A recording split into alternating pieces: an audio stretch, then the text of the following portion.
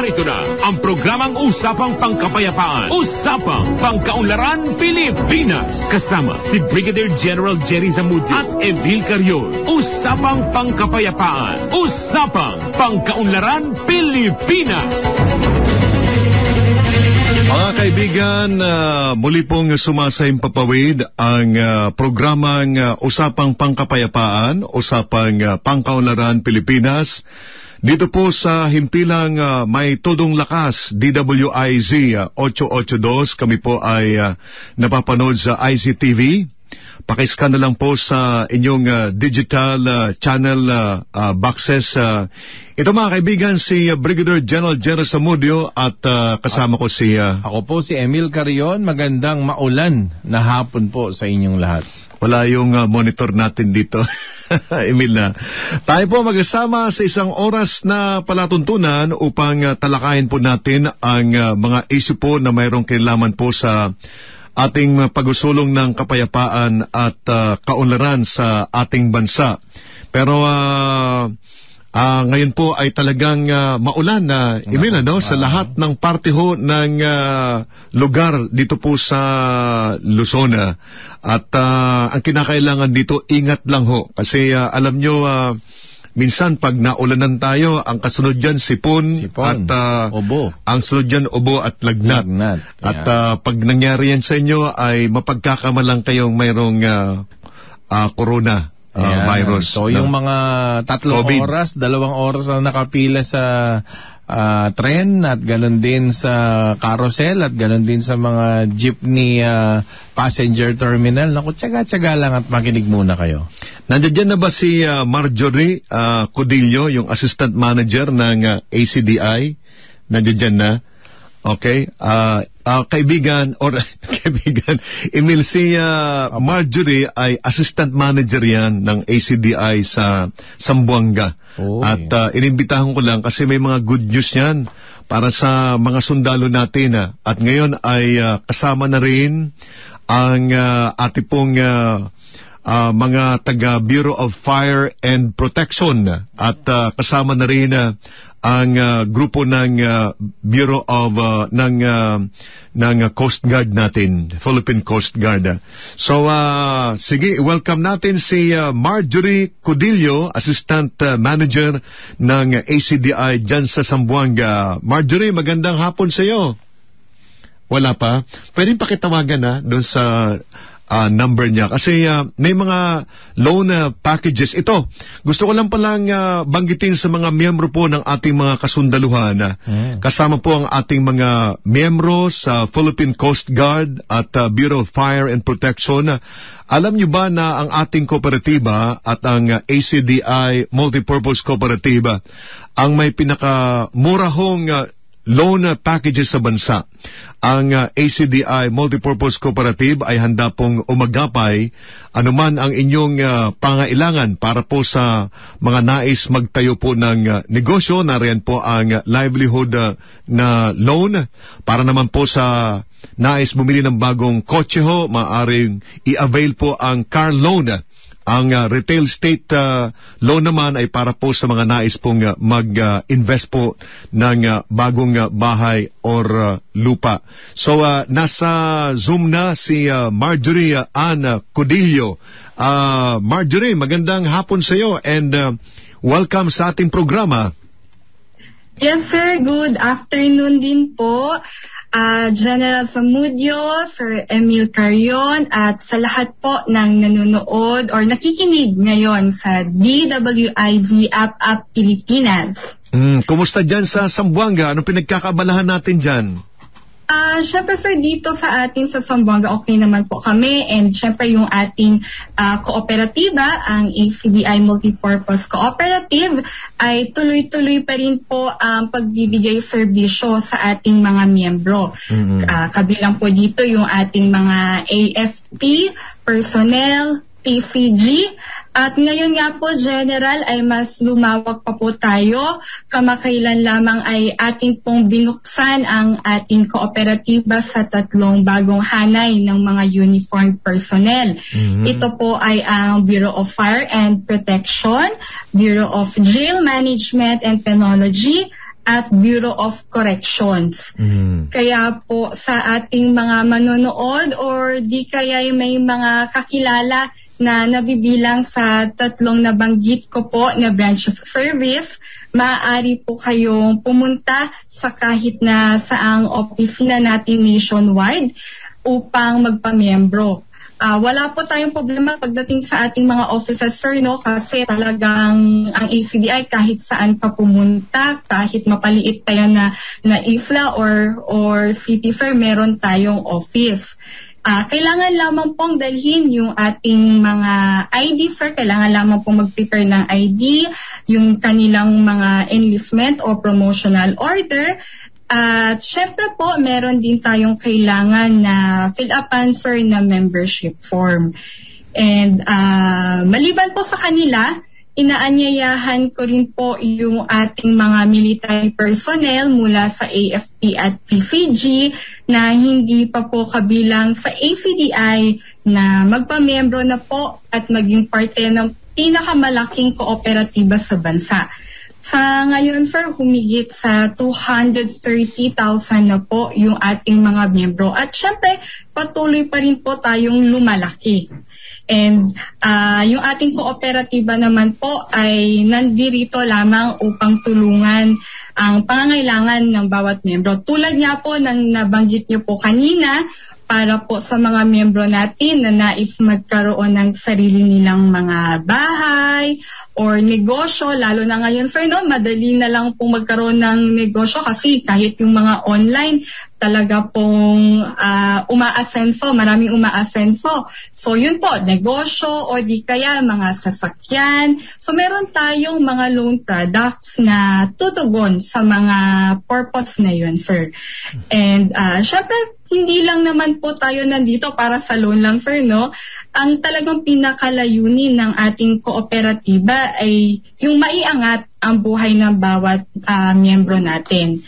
Kaya naman meron tayong mga investment products upang makatulong sa kinabukasan hindi lamang ng ating mga miyembro, kundi pati ng buong pamilya nila. Kasi nga, sir, gusto natin na ang bawat isa ay maging self-sufficient at ah, financially stable. Kasi lalo na ngayon, sir, na pandemic, hindi natin alam anong pwedeng mangyari. So, mas mainam, sir, na maging handa tayo. Yun, no? And ibabahagi ko lang din po, sir, na bukod sa mga produkto at serbisyong aking nabanggit, mayroon din tayong ginagawang mga CSR at marketing activities. So, dito nga po sa iya branch, sir, ah sakop kasi namin yung ah, holo at saka tawi-tawi. So, kamakailan lang, sir, bumisita yung ating personnel at saka ang ating branch head sa ating mga ah, sundalong staff personnel nakabase po sa Sitangkay, Cebu Tawi-Tawi. So kahit gaano pa po kalayo yung ating mga miyembro ay talagang ating pong pupuntahan sila para lang maiparating sa kanila yung mga update po ng ating kooperatiba para naman hindi sila sir mapang-iwanan porket nasa dulo sila sir ng, ng Pilipinas malapit na sa Malaysia eh hindi na nila alam kung ano yung mga latest na na ating ah, ino-offer sa mga members. Kaya talaga pong pupuntahan natin yan kahit na na delikado pa yan or kahit na na gaano kalayo pa talagang pupuntahan natin sila. So, meron din po tayong ginawang focus group discussion kasama naman po yung ating Philippine Coast Guard. So, maliban po kasi doon sa tatlo ko pong nabanggit na branch of uh, servicer, no, yung BJMP, BFP, at saka Bucor. Yung PCG din po yung isa sa bago nating um, branch of service na na inopen natin ang ACDI. So, yun sir, ginawa natin yung focus group discussion para naman sir malaman natin yung ano ba yung mga kailangan ng ating mga Coast Guard doon po sa Bungaw Tawi-Tawi. Ano po ba yung mga serbisyo na sa tingin nila ay maaari na ang ibigay ng ating kooperatiba sa kanila. So yun sir. And bukas sir, meron din po tayong nakaschedule na na focus group discussion din po kasama naman this time so yung ating mga reservists mula sa PCG. So maliban po sa mga active pensioner at saka dependent sa mga uniform personnel, tumatanggap na rin po tayo ng mga reservists. So sigurado po ako maraming mga reservists po dyan, lalo na nung uh, sunod-sunod na naging reservist yung mga artista. Opo. Kaya baka sakaling may mga reservist tayong nakikinig dyan, so maaari din po silang maging parte ng ACDI. Kaya yun sunod kung makikita nyo talagang lumalawak na yung ating kooperatiba. Kasi nga po gusto natin na dahan-dahan eh matulungan yung bawat uh, Pilipino sir, hindi lang mga sundalo natin na dati ng mga membro, kundi pati yung mga iba't ibang um, hanay ng, ng uniform personnel at atin din pong ma, mag, atin din pong ma-offeran ng ating mga serbisyo, sir, para sa kanilang kinabukasan. So tulad nga po na nabanggit ko kanina, napakadali lamang maging membro ng ating kooperatiba. At pag ikaw ay isang membro na, ang ACDI ay laging handang tumulong. Kasi dito sa ACDI, members first always. So yan po talaga yung ating um, motto. Pag pumunta ka ng ACDI, sigurado ako yan yung inyong mararamdaman. So maraming salamat po General Samudio para sa oportunidad na inyong ibinigay sa amin, sa akin para po maiparating sa uh, inyong mga sa inyong maki, sa inyong uh, mga taga-subaybay no kung ano po yung mga pinakabagong offer at ano yung uh, mga update na patungkol po sa ating kooperatiba, ang ACDI Multipurpose Cooperative. Maraming salamat po. Thank you very much, Marjorie Codillo. Codillo, uh, napakaganda ng inyong uh, paliwanag. Uh, at uh, yung mga sundalo natin talagang uh, nanodoon sa mga liblib na mga lugar. Uh, yes. Uh, Emil, uh, pinupuntahan na ngayon ha, mm. ng uh, ACDI. Uh, napakasipag nito mga tao na ito. Wala na ako itatanong uh, Marjorie kasi uh, kompleto na yung, uh, yung uh, naipaliwanag. At uh, oh, alam ko happy yung mga sundalo natin at uh, yung mga Philippine uh, Coast Guard uh, members kasama na rin ang uh, Bureau of Fire and uh, Protection na uh, napupuntahan sila doon sa mga lugar nila. Especially diyan sa oh. Mindanao partner, uh, mm. importante na napupuntahan sila sa mga liblib na mga lugar. Nabanggit oh. na ni Ma'am Codillo kanina yung Basulta, yung Tawi-Tawi. Oh. So talagang lahat ng sulok. Na, Yan ang kagandahan sa kooperatiba natin na uh, Marjorie no? Dahil uh, pinakamalaki tayong kooperatiba sa buong Pilipinas, malaki tayong, marami tayong opisina. Yes. And all over yes, the country. Po. Pinakamarami tayo dahil uh, siyempre malaki na yung uh, kooperatiba na pag-aari po ng mga sundalo, na ngayon ay pag-aari na, lang, pag-aari na rin partner ng Bureau of Fire and uh, Protection. Yeah. Kasama na rin ang uh, Philippine Coast, uh, Coast Guard. Coast Guard. Uh, Marjorie, maraming salamat ha. Maraming salamat din po, sir. Thank you mga kaibigan. Si uh, Assistant Manager ng ACDI Sambuanga, si Marjorie Codillo. So uh, yan partner ang uh, ating uh, good news sa mga kasamahan nating uh, mga sundalong nakikinig ngayon. Huwag po kayong aalis mga kababayan sapagkat mamaya ay uh, ati pong makakasama si Senator uh, Ronald De La Rosa. Ito ay uh, tungkol ito doon sa kanyang uh, panukala mm. na batas na ipagbawal uh, ang uh, mga party list uh, na organization ba? Yan, uh, ng mga CPP, NPA, NDF. Yan. Mm-hmm. So, uh, yan natin pag-uusapan mamaya and then uh, makakasama din po natin dyan si uh, Ka Eric uh, Almendras. So, uh, baka pwedeng pakitawagan din si Ka Eric uh, para magsabay at saka si Senator uh, Almendras. Saka si, si uh, Senator, uh, Senator Bato. Bato. Oo. Yan. Kasi si uh, uh, Almendra, si Eric ay presidente ho ng uh, Sambayanan, mm-hmm. uh, Abante Sambayanan, Abante na ito Sambayanan. ay organization ng mga rebel returnee. Yes. Di ba, no? So, importante na uh, makuha din natin yung uh, uh, uh, perspective mm-hmm. ng uh, mga rebel returnee natin. Pero tama yun, ano, partner, no? Tama lang. Na dapat ho ay uh, ito ay tutukan talaga Kasi isang katrayduran yan na ikaw ay nanumpa ka sa bansa, Mm. di ba, no? Para protektahan mo yung ating mga kabayan.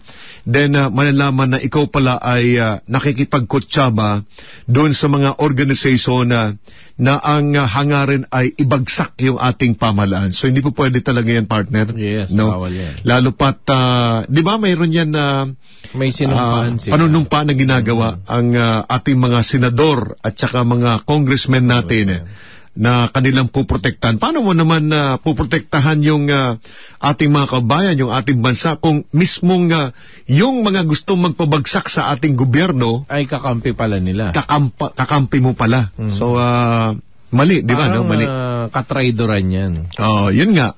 Ah, gusto mo partner ay basahin ko yung ah, ginawang statement dito ni uh, Flosimer, ni attorney uh, uh, Flosimer Chris ah, Gonzales. Ah, ito yung sa NTF LCAC.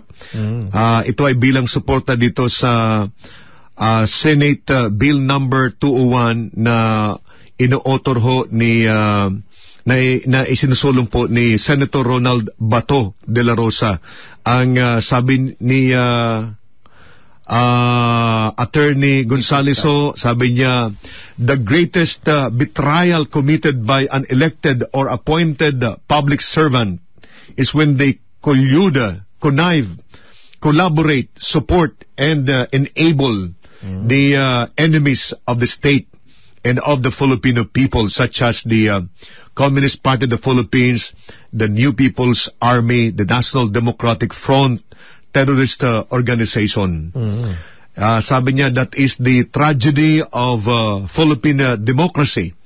Our democratic uh, uh, processes were uh, exploited and were taken advantage by the CPP and PA-NDF in furtherance of their uh, goal to overthrow the uh, government. Mhm. It is about time that the government bureaucracy, uh, including uh, Congress, be uh, purged of all CPP, NPA, NDF cadres, mga supporters, infiltrators, and uh, lawless uh, en- elements masquerading as human rights uh, advocates and or uh, defenders. Tama-tama. Nasa Oo. linya na si ah, Ka Eric. Oo. So, uh, mamaya sasama natin siya sa ating palatuntunan. Mm. Oo. kasabay ni Senator uh, Bato. Mm. No? Oh, okay, nandiyan dyan na pala si, uh, Eric, na. si Ka Eric at saka si uh, Senator uh, uh, Bato na at uh, isasama na po natin sa ating uh, uh, programa. Ah, so ringing pa. Okay, ituloy lang natin bago natin ipasa kay Ka Eric ano, yung uh, statement po ng uh, NTF LCAC. Sabi niya dito ay uh, uh, Senate Bill, Bill number 201 is a timely and relevant piece of legislation that will cleanse, uh, cleanse the party list system of any and all forms of abuse and exploitation by groups that are in cahoots with the Communist Party of the Philippines, New People's Army, and NDF. We will no longer allow the enemy to use government offices and its resources to uh, vilify and destroy the very same government that employs uh, them. Tama. Ah, mahaba-haba ito but ang konteksto ho ng ah, mensahe ng suporta ng NTF LCAC ay ah, para hindi maggamit ho na ang Kongreso Oo. ng ah, mga tao na ang ah, mithiin ay traidorin na yung ah, ating ah, mga kabayan partner. Ang, ang dating bantay sa lakay. Oo. At ah, ah, dahil dyan ay marami pong mga kabayan tayo na naging biktima at sila ay nahila sa nahila sa armadong pakikibaka at ang isa nga dyan ay si Ka Eric ah, Almendras Yes. na ngayon ay tumatayong ah, presidente ho yan ng ah, Abante Sambayanan. So Yun. kasama na natin ngayon habang ah, inihintay po ta- natin na sagutin tayo ni Senator ah, Bato. Ah, Ka Eric, ah, magandang ah, hapon sa iyo and welcome sa ating programa. Ay, magandang hapon po sa iyo, General Samodio. And good afternoon also kay Brother Emil at sa mga tagapakinig ng inyong programang Apa Pilipinas sa DWIZ. Oo, yung pinag-uusapan natin ngayon ka Eric ay ah, yung sinusulong na batas ni ah, Senator Bato na pagbawalan yung mga party list organization na mayroong koneksyon sa ah, mga armado, 'di ba? Sa mga teroristang ah, mga organization. Ngayon kung pipiyok yung ah, ah, ilan diyan, ang ibig sabihin niyan ay uh, pwedeng tinatamaan sila, 'di ba, Oo, no? Yung, uh, Oh, kasi ah, pumiyok yun yung nang itlog. kasi ang sinasabi naman dito ang linaw eh, 'di ba? Yung ah, mga party list organization na mayroong ah, association doon sa mga ah, re- mga rebelde or mga tao na formally pinagtag ng gobyerno ng mga terorista. 'Di ba? Ibig sabihin official silang ah, natag na terorista ng ating pamalan. So kung ah, terorista 'yan, ipinagbabawal, 'di ba? Bakit ka nga naman makikipag ah, kutsaba dito sa mga grupo na ito ka Eric? Yeah, tama po at napapanahon General Samodjo at ah, Brother Emil sa tagapakinig natin dito sa DWIC. Ang ah, panukalang batas na gustong isulong ni Senator Bato de la Rosa sa Senado. Ah, sapagkat malinaw naman po at ah, na-establish na ng ating security sector, ng ating pamahalaan mismo, ng National Task Force to End Local Communist Armed Conflict at mismo ng National Security Council ah, in the previous government at mismo ng ah, ating ah, mga intelligence and security agencies of the government. Kasama po dyan ang libu-libong revelations and testimonya naming mga dating rebelde at mga kadre na nanggaling sa CPP, NPA, NDF na totoo at may batayan sa katotohanan at aktwal ang ah, existence nitong mga party list na makabayan black na binuo talaga ito ng CPP, NPA, NDF batay sa revelations, uh, testimonya, karanasan at aktual na, kala- na kaalaman at direktang personal knowledge namin which were uh, already provided to the government in the forms of uh, judicial affidavits and other forms of testimonial revelations and tactical interview conducted by duly competent security agencies of the government na na-consolidate ito sa National Intelligence Coordinating Agency, NICA, which is under the Office of the President. Consolidated din itong mga revelations na ito sa ating National Security Council and even sa Armed Forces of the Philippines, sa Philippine National Police and the NTFL-CAC itself. Ibig sabihin po, General Somodjo, Brother uh, Emil, mga kababayan, mayroong batayang totoo, batay sa aktual na mga paglalahad at aktual na direktang mga kaalaman. Ang pag-identify sa bayan muna, sa Anak Pawis, sa Gabriela Women's Party, sa ACT Teachers, tsaka sa Kabataan Party na ito ay binuo namin sa CPP, NPA, NDF. Pinamumunuan yan ng mga kadre ng CPP, NPA, NDF. May underground connections yan at uh, yan ay konektado sa buong operations ng CPP, NPA, NDF. Yan ay nakalahad, o ulitin ko, hindi lamang sa mga salita, kung hindi sinumpaan yan ng mga revelations and testimonya sa forma ng judicial affidavits, General Samudio. At sila lang naman ang uh, tinukoy at tinumbok ng ganitong mga paglalahad at paglalantad at mga impormasyon. Wala naman, hindi naman sinabi na kasama sa CPP, NPA, NDF Network of Operations ang mga party list kagaya ng Sagip, kagaya ng uh, uh, iba pang party list, no? That's an example lamang. Uh, mga tingog sinirangan, mga TUCP. O bakit sila lang lima? Sapagkat yan ang totoo ang kaalaman at direkta naming knowledge, karanasan na aming inihayag at uh, sinumpaan namin yan sa Public Prosecutor's Office at naisumiti yan ng mga ebidensya sa proseso ng ating uh, paglalantad sa CPP and ANDF. In fact, ako mismo ay executed a judicial affidavit to that effect. At yan ay nakasubmit na rin sa isang regional trial court, hindi ko na babanggitin, for the case pertaining to uh, proscription related to anti-terrorism law as required sa batas at yan ay pending, hindi ko na i-discuss. Ang ibig kong sabihin, ang batayan ni Senator Bato de la Rosa ay solido. Malinaw yan na uh, kailangan na talagang bigyang aksyon itong pag pagkukunwari at panloloko ng CPP, NPA, NDF sa ating party system. Number two, no less than uh, the Vice President herself uh, the second highest uh, official of the land sa kasalukuyang gobyerno natin ang naglahad din ng ganitong kat at ganitong pagbubunyag. And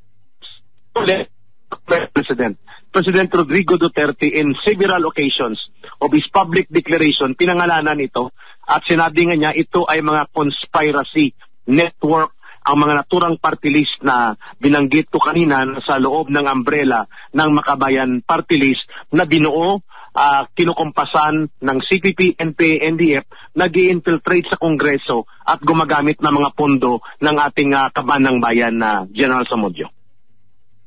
Tama 'yon uh, ka Eric ano at uh, ang pinakamalaking uh, problema lang dito partner eh. I mean, yes. yung uh, yung proseso, 'di ba? Paano uh, sa sa tingin mo ka Eric, paano magiging proseso niyan para yung uh, mga party list na konektado sa armadong pakikibaka ay uh, uh, ma, ma kumbaga talaga ma-prove natin before the uh, court of uh, uh, COMELEC na sila ay kakutsaba. Anong uh, sa tingin mo magiging proseso niyan? Uh, una, malaking oportunidad kung magkakaroon ng uh, joint Senate and House mm. kung magkakaroon ng co-sponsorship sa lower house uh, committee hearing. Mm. Magpa-participate kami doon para marinig in a public uh, hearing, in a committee, in an official committee uh, hearing ng Senado at ng lower house, ng Kongreso. That's the number one process. Invited din dapat ang COMELEC. At invited din dapat ang mga, ang kami na mga nag-execute ng judicial affidavits invited din ang pamahalaan at ang pati ang mga tinumbok ng mga party list. Number one yan. Number mm. two, uh, malinaw dapat na ang uh, isang batayan dito ay maging kategorya sa Omnibus Election Code pertaining to party list and other political parties na nagpa-participate sa election ang pag-denounce ng terrorism at ang pag-denounce ng mga grupo at organisasyon connected to the conduct of terrorism, ang pagtakwil at pagpanawagan uh, na labanan ng CPP, NPA, NDF.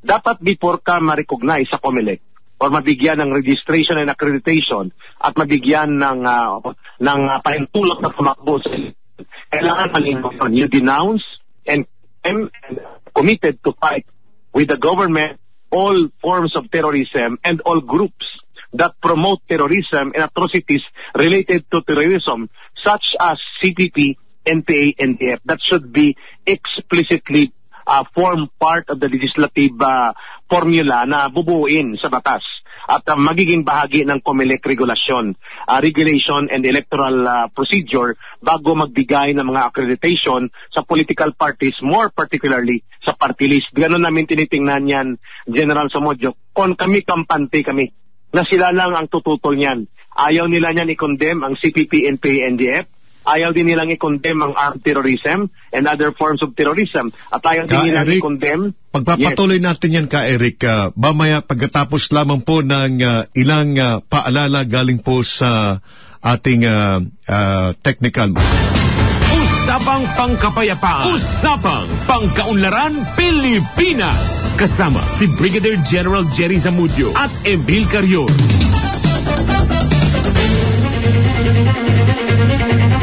Nagpapatuloy po ang ating programang Usapang Pangkapayapaan, Usapang Pangkaunlaran at uh, General si uh, Senator uh, Bato de la Rosa ay nasa importanteng meeting. Mm-hmm. uh, kaya hindi natin muna makakasama at ipagpatuloy natin ang interview kay Ka Eric Almendra. Samantala salamat po sa ating uh, CA Communication Assistant uh, na si Isha ang ating mga SOCMED uh, specialist si Jello, ang ating mga writer si Rashid and Mara at syempre ang ating technician na si June Aguba.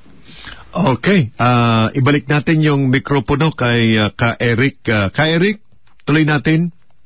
Yes, sir. Maganda yung tanong mo, paano gagawin?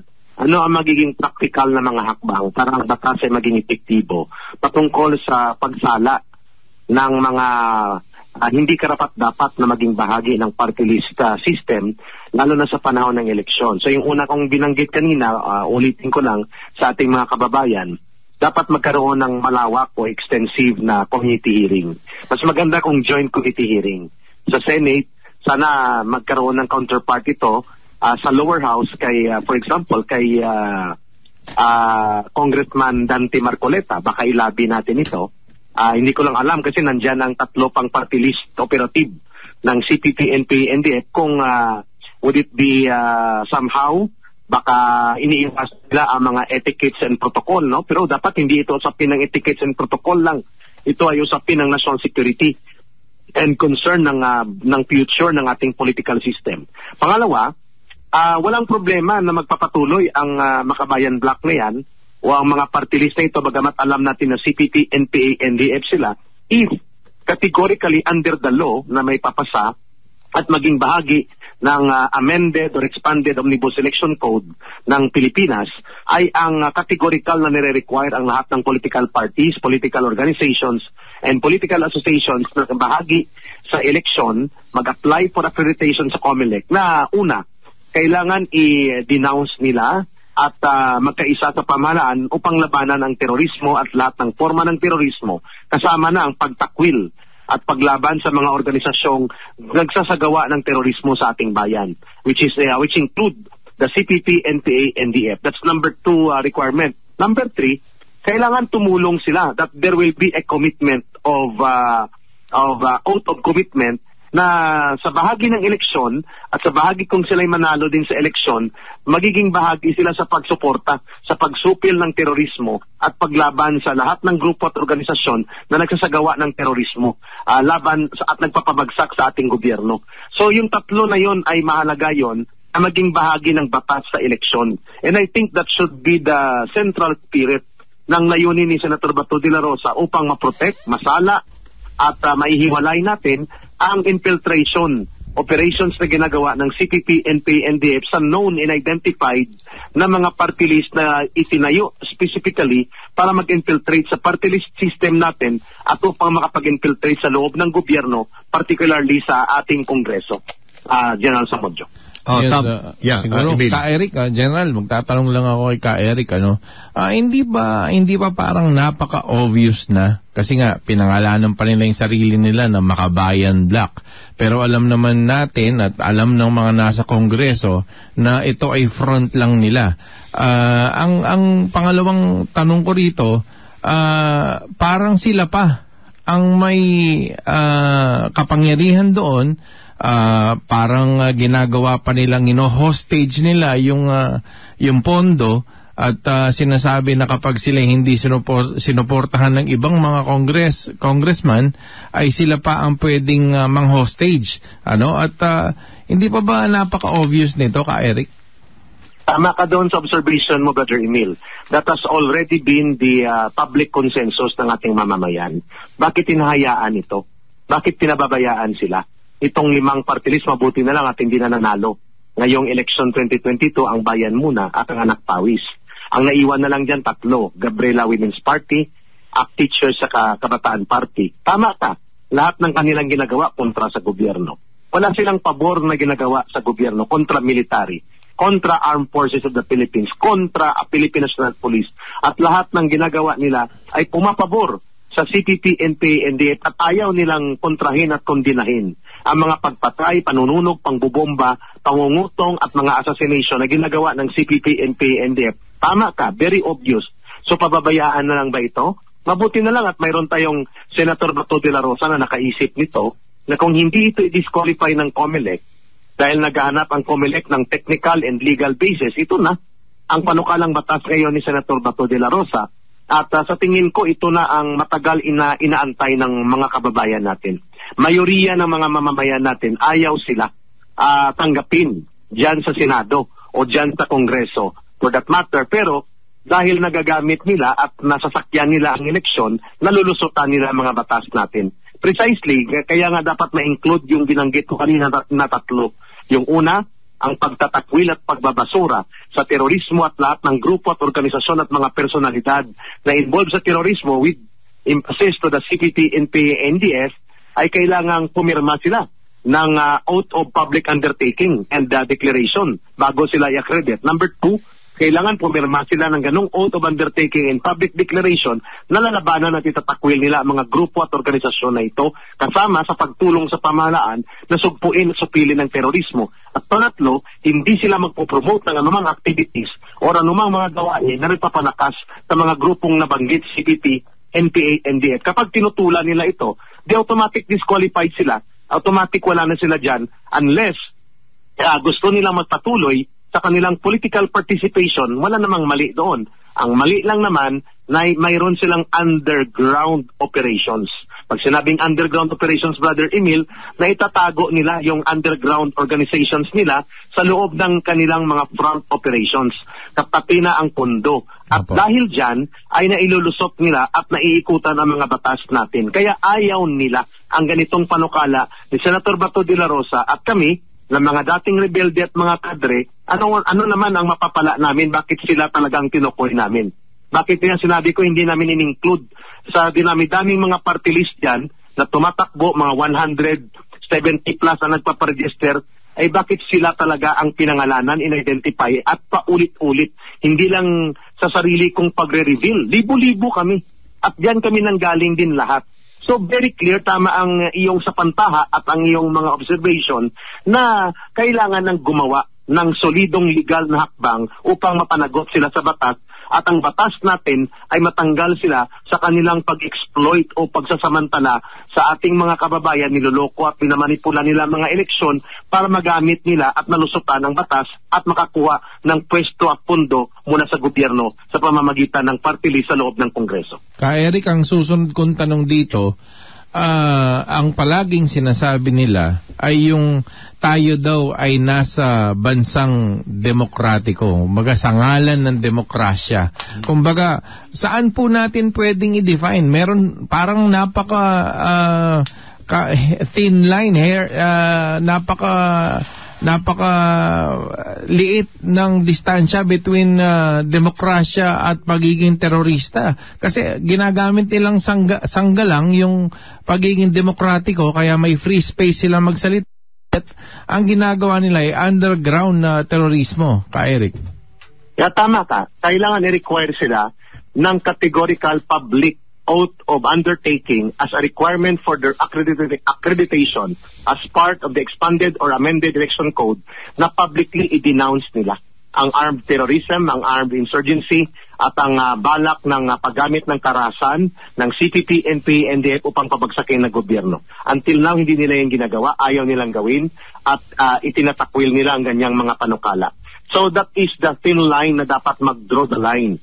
Sapagkat ang mga Communist Party sa ibang bansa, sa Europe, sa Amerika, at sa maraming bansa na dati may mga communist movement, wala ng armado, wala ng terorismo, wala ng NPA kagaya sa kanilang bansa. Sila ay nasa loob mismo ng parlamentaryo nakikipagdebate. Samantalang itong grupo ng party list na binuo ng CPP, NPA, NDF, bagamat nasa kongreso na sila at nakakalusot sila sa mga eleksyon natin, subalit sila ay nagiging extension ng armed terrorism, tagapagtanggol, tagapagdag, taga, tagapagtaguyod, tagapagdepensa ng mga pangbubomba, panununog, pan, ah, extortion ng CPP, NPA, NDF at binibigyan nila ng matuwid through privilege speech. At ang mga pondo nila hindi makita ng gobyerno kung paano ito ginagastos. At marami sa aming experience diyan, ginagamit yan ah, bilang mga consultancy kunwari, ah, pero ang pinapupuntahan yan ay ang underground na mga operatives, kagaya ng mga kadre at organizer nila. That is a direct personal knowledge in the thousands of former CPP, NPA, and DEF cadres who were once part ng aming buhay sa, kan- sa ganyang kalakaran. Doon sila dapat sukatin, Brother Emil, Sir General Samudio. For as long as they will not subscribe to the election mandatory law of public denunciation and public uh, undertaking na lalabanan nila at itatakwil ang terorismo at karahasan ng CPP, NPA, NDF at hindi nila susuportahan ng anumang hakbang na gumamit ng karahasan at naglalayong pabagsakin ng ating pamahalaan, hindi sila pwedeng bigyan ng accreditation or any uh, legal participation entity sa mga eleksyon natin. Yun ang ibig sabihin ng batas na panukala ni Senator Beto de la Rosa. It is not discriminatory. It is a national security measure that should have been done long time ago by our government. Subalit, tinotolerate sila dahil nga sinasabi nila may democratic space. Ang democratic space na naaabuso nila kasi ayaw nilang itakwil at labanan. Ang CPP, NPA, NDF na sa matagal na panahon for 53 years ay sumisira, pumapatay ng bubomba, ng ambush, nag-re-raid ng mga police station, nanununog, nagwawasak ng ating bansa, at pumapatay ng mga sibilyan at mga katutubo. They do not want uh, to uh, uh, denounce and fight against this organization and more of their actions are reinforcing and defending ng mga grupong ito gamit ang pundo at posisyon sa gobyerno. Hindi pwedeng magpa- magpapatuloy ang ganyang kalagayan. That is how we look at the wisdom and the intent and purpose of the, the, the proposed bill ni Senator De La Rosa. Oo. Ako ang uh, tingin ko isa pang dapat idagdag dito, uh, Emil, at saka ka Eric, Yes, sir. uh, para ma-simplify lang yan. Yung sa out of allegiance, yung out of office, idagdag doon yun sa binabasa nila Mm. na kinukundi na namin ang uh, armadong pakikibaka. Di ba? Part yan eh. Na, di ba sinasabi doon na uh, ipagtatanggol namin uh, ang uh, interest ng ating uh, uh, mga kabayan ng ating uh, ng bansa. Tama. At idagdag pa doon, at uh, kinukundi na namin uh, ah, ang uh, ah, anumang act na um, ah, pag-armas sa bay, ah, yung ano yung pagdeterrorize. Yes. No. Pwede ba yung ganun ang gawin na lang ah, ka Eric? Kasi ito ang nakikita ko, maganda itong ah, programa ni ah, Senator. Pero alam ko ay ah, mahirapan siya na ito ay isulong sa Kongreso at saka sa Senado. Pero dapat ituloy ito.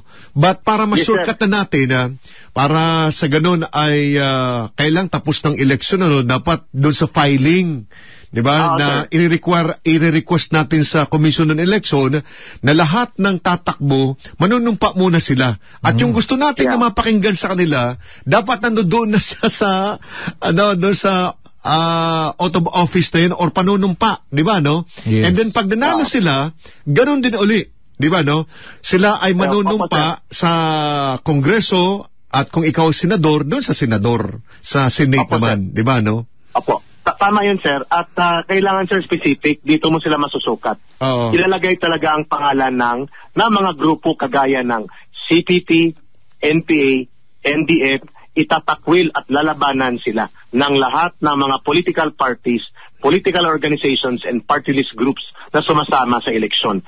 That should be a requirement prior to accreditation and approval sa kanilang candidacy at sa kanilang registration. Tapos sa Tama nakalagay yan, sir. ah, nakalagay doon kay Eric yung uh, pagkondi na rin sa mga organization sa miyembro ng New People's Army, mga organization na nagre-recruit ng mga kabataan at hinihila sa armadong yan. pakikibaka. 'Di ba no? Opo. Kasama yan, sir. And therefore, ang ah, epekto ng ah, ah, batas na panukala ni Senator De La Rosa will be an expanded Omnibus Election Code. Kasi Yes. ang effect niyan dapat batas. So mayroon tayong batas sa Omnibus Election Code. At it will impact also on the party list election. So therefore, malinaw dapat sa content ng batas na yun ang layunin. Tama. Ang ah, binanggit mo dyan sa Modyo ay pagpapalakas ng ah, public oath of allegiance and declaration to the Constitution at and to the Republic of the Philippines and to the interest, the national security and the public interest ng mamamayang Pilipino. Pangalawa, ta- malinaw dapat ang pagguhit nila ng pagtatakwil sa lahat ng forma ng terorismo na itinatakda ng mga activities ng mga organisasyon na naita- naitakda na ng pamahalaan such as CPP, NPA, NDF. Dapat labanan nila ang lahat ng forma at mga actions ng CPP, NPA, NDF. Pag nailagay yan na General Samudio sa batas, sigurado ako na ayaw nila yan gagawin. Sigurado kami dyan sapagkat yan ay mortal sin sa kanila na ikundina ang grupong kung saan sila ay totoong kaanib. De, That mag- will ah, never Ka- happen. Ka- Eric- Therefore, it will make them defensive. Oo, kay Eric, 'di ba magkakaroon dito ng ah, parang lang, Borrek. public na na pagdinig dito? naka-interview ko. Ka Eric, 'di ba magkakaroon ng public na pag ah, public hearing dito, public na pagdinig. So baka pwedeng doon kayo mag-attend at ah, yun ang ah, ipanaka- ipanukala nyo kina Senator ah, Bato. Sayang at hindi nakasama si Senator Or Bato ngayon. Baka pwedeng habang ah, hinihintay nating maging tuluyang batas yan, Oo. ay ah, maging ah, public campaign sa pangkalahatan, sa pub, ah, kumbaga, ah, public forum, uh, ka Eric.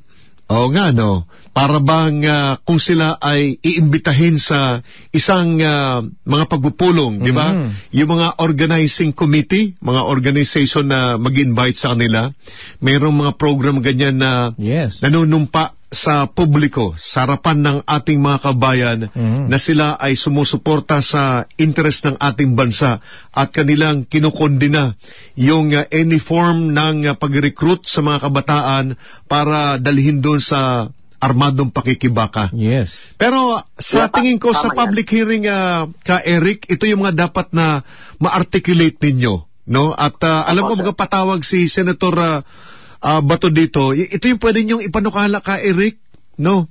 Opo, sir. Eh, Mm. Kasi, sir, hindi pwede maging vague yan eh. Mm. Ah, at dapat maging, magiging bahagi siya para masala ang party list law at ang electoral process na Mm. ma-protect natin. It should form part na ang panukalang batas na ito at kung mailulusot ito, it shall form part of an expanded coverage of an omnibus election code as a requirement to ah, approval of candidacy and participation in the election. Otherwise, walang ngipin ng batas na yan kung hanggang auto declaration lang sila.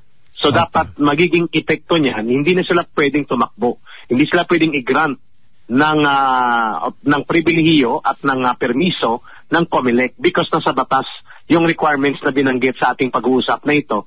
At kasama diyan ang ah, pag-specify ng role nila bilang kabahagi ng pamahalaan sa pagtatakwil at paglaban sa lahat ng forma ng terorismo at mga grupong involved sa terorismo at mga mararahas na activities including pagre-recruit ng kabataan at mga sektor ng lipunan para pabagsakin ng gobyerno natin. At may specific underscoring. Kasama na dyan ang mga grupong Abu Sayyaf at ah, ganun na rin ang CPP, NPA, NDF. Sigurado ka, kami, Sir, ah, General Samudyo and Sir Emil, mga kababayan, hindi nila yan gagawin. Hindi nila yan susuportahan ng batas na yan and it will make them very defensive. But ito ang tamang ah, pagkakataon na mailantad sila ng lubusan at mayroong legal impact against them kasi ang taktika nila ah, ng CPP, NPA, NDF sa paggamit nitong party list, election, alliances at mga front organization, iniikutan nila mga batas natin, inubutas nila mga batas, ginagamit nilang batas at binabaliktad pabor sa kanila. Pag, pag hindi pabor sa kanila, sinisira nilang batas. That's why ah, ang mga panukala nila dyan sa Kongreso, pabor palagi sa interes ng CPP, NPA, NDF sapagkat yan ang totoong organisasyon na kinaaniban nila.